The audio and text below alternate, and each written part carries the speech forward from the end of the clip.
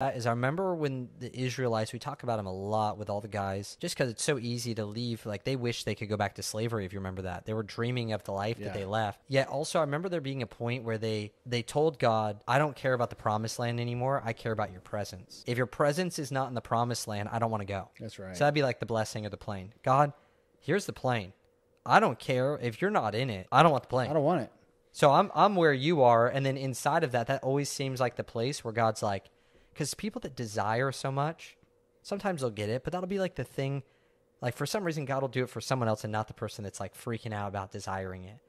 And I look at your like laying down as this like giving that thing that you desire so much and submitting it before God, truthfully, not God, I'm going to give this to you so you can give me a plane yeah.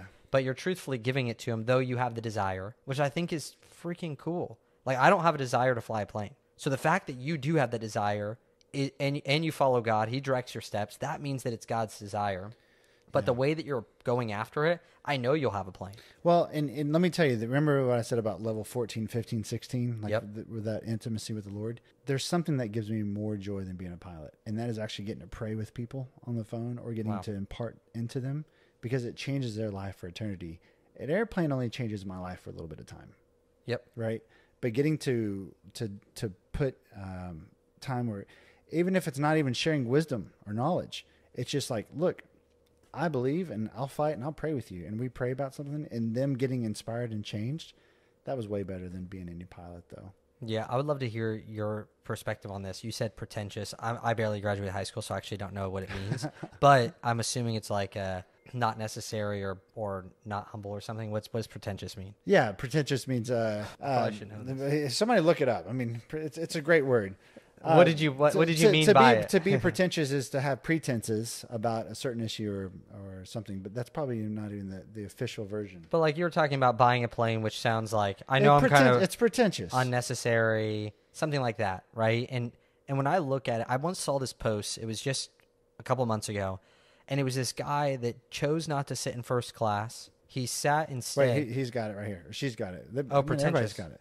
Oh, here we go. Attempting to impress by affecting greater importance, talent, culture, etc., than actually possess. So trying to impress by talking like Yeah. I'm about to buy a plane. The the Oh, thirty thousand thirty thousand dollar a year millionaire. Yeah, yeah, Right? exactly. And so when I, I saw this guy's post, and he goes, I sat in the back of the plane because the difference of the the com- uh, commercial compared to or whatever it is economy compared to first class was X amount of dollars, and if I invest that over the next fifty years, that's thirty seven thousand dollars or something like that, which I think is fine for for when we first got married and I lost the business. I was making about twenty one k a year, working full time. Yeah. So I don't fly. I would. I was trying to live off fifty percent of my income.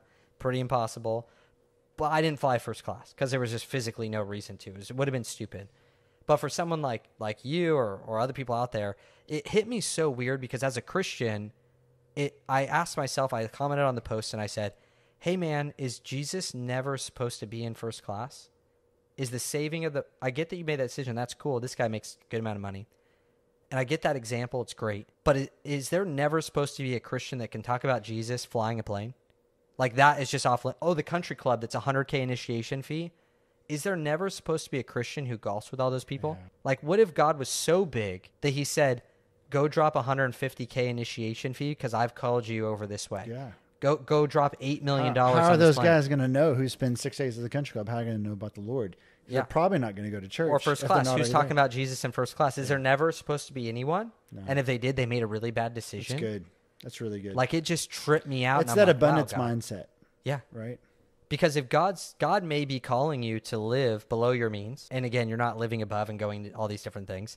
Yet also, what if God inside of your abundance is calling you to step outside of a comfort zone, especially someone like you who's grown up with a fantastic family? It's probably not.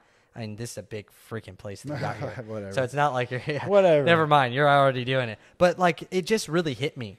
Um, my wife and I, we actually just felt like I literally felt God say, "Pick up golf," and then I already within two weeks, I'm I'm touring the country club right next to our house, and I'm like, God, like, what are we gonna do here? And I felt like I know business guys that aren't Christians. Yeah. They would love to be served in this way. What if once a week I took them out on a round be in a beautiful place and did something eternal, but it makes me uncomfortable because I grew up in a middle class home in, in Southern California. Like that. Don't ever, don't ever get a, uncomfortable about the Lord putting abundance into your life. Wow. You should be, as a business owner, you're called to be more. you should be comfortable with what the Lord's calling you to do.